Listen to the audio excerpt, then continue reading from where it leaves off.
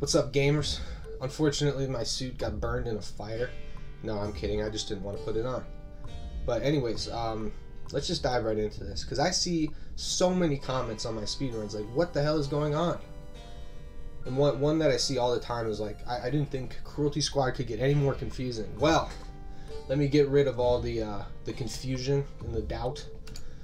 Um, and yeah, I want to do my, my favorite run that I've ever done, which is the Archon percent stock market. So what does that mean?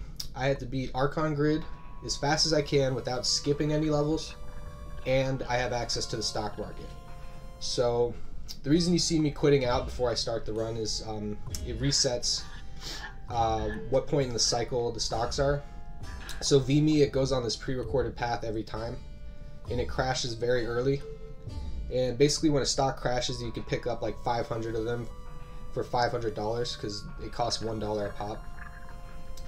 In doing this, you could sell it at $6 and quickly multiply your money. So that's what I do. So this little chart right here um, in the stock market, the way it goes up and down, it's the same time, same thing every time. And resetting the game starts it over.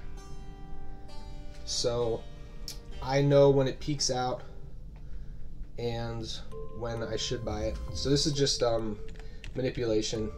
You can see it goes up to 9 here. That's the highest it goes, down to 7, then it plummets back down, and then it goes back down. But you can see I started with $500 and now I have like 40,000 and it'll keep going up until I get enough money to buy the equipment. Alright, now that we have this equipment, we could actually do Abominator early, which is a glitch I discovered earlier this year uh, that I've been looking for forever. So it was never quicker to get the Abominator before um, beating Pharmo. But I figured out a way to get it without having to get cursed. You just go past the cursed door out of bounds and then clip back inbounds. And the hardest part about this was figuring out how to clip back inbounds, but I, I got lucky. I was just under under the platform spamming crouch and it just forced my body through it. I couldn't believe it actually happened, but yep. So there you go. It's possible to grab the Abominator very quickly. Now I'm just setting up the God menu. And so, okay, that's a lot. Let me pause. That's a lot at once. So I just grabbed the Abominator. You're not allowed. You're not supposed to do that without getting cursed, which wastes time because you got to go pick up the cursed orb, and then after you have to get cleansed because cursed levels are longer. You know, they have extra targets, so it wastes a lot of time. So basically, getting cursed and cleansed takes around 30 seconds. So I could skip that completely, and that actually makes getting the Abominator early viable. And now we're doing the God menu to get the most broken items, the rocket launcher and the ACR. And this takes a while. And I have a video explaining um, the God menu, but basically you freeze either, either the end of level menu or the suicide menu, or the death menu, and this lets you mess up a lot of things. Sort of in the same way that level skip works, where if you interrupt the scrolling out of levels, the ones that haven't scrolled out yet will be accessible. That's how this works.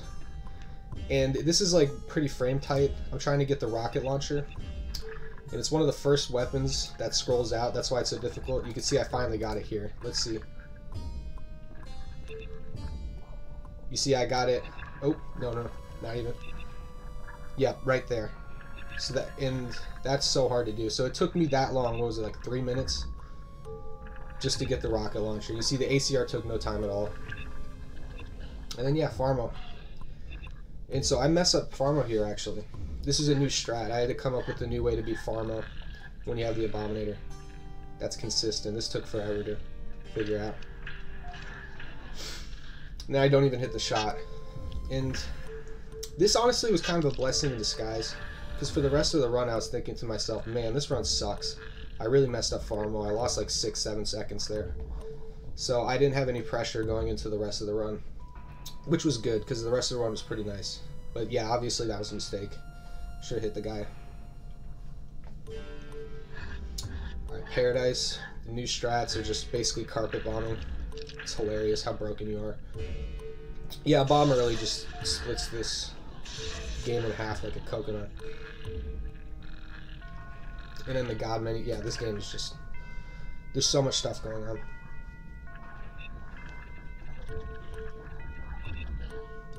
And the God menu works because you open up the settings menu when you open up the end of level menu or the death menu. And what that does is it gets rid of the um, it gets rid of all of the um, I, don't know how it works, but it, it gets rid of the code that says it, the menu should get closed. It just deletes it. So the menu stays there forever until you um, either bring up a new end of level menu, kill yourself, or you leave the game. It's the only ways to get rid of it. So this is pretty standard levels for the most part now. Like androgen, you just go and zap. I get lost here though. Let's see it.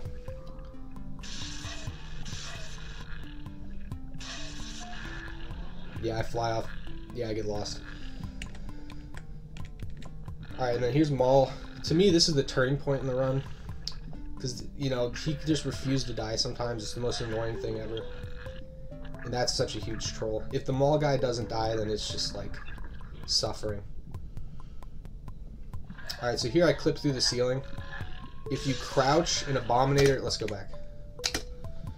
So you see how I Abominator and I'm also crouched? I just boost forward to above the oven. Then I unabominator and then uncrouch. And that's what puts me through the ceiling. But that's only only works on the older versions of the game. Ah oh, man, I forgot to mention. I'm using an older version of the game. Most of these tricks don't work on the new version. I'll put something in the, the beginning of the video. And I'll also leave a link in the description on how to down patch. This is a pretty useful vid that I use myself. It takes about 10 minutes to do. This is pretty standard.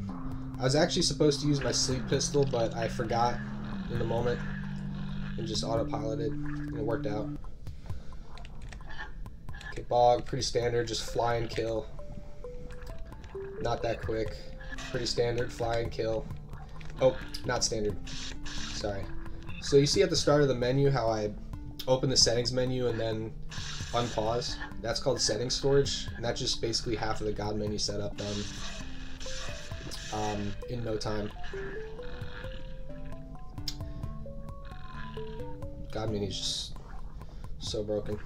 Alright, now I'm going to complete the God menu by opening up the settings menu when I kill myself. Then I'm going to sneak in, I think, the Riot Pacifier and the uh, Raymond. Yep. Then Idiot Party, we do an Abominator clip. So basically, if you're Abominated, you're falling towards the floor, and then you crouch, and you bonk your head into the floor, your head will go through the floor. And it gives you just enough time to shoot a smoke grenade down. And that's what I do there. It's It seems really hard, and if you try it without knowing how it works, it's going to be difficult. But that one's, I get that basically every time now. I should do a tutorial on that because people seem to have trouble with that one. It's really easy. Alright, so this mall strategy has been refined over... Jeez, I can't tell you how many times I've done this level. So normally if you kill the guy there, that's the last guy you gotta kill, but I got unlucky because that guy chose not to go out the window. So I lost around like four or five seconds, which is, that's fine. So in total, there's like around 12 seconds of error, I think, in this video, or, in this run. Hmm. Not bad. But someone else could definitely beat this. Just a matter of learning all the tricks. Once you have them learned, it's they all feel really consistent. Yep. And I was looking at the timer when I hit the thing. I was like, no way. And that's it. That's the first sub 3 ever in Cruelty Squad. So I hope you guys enjoyed.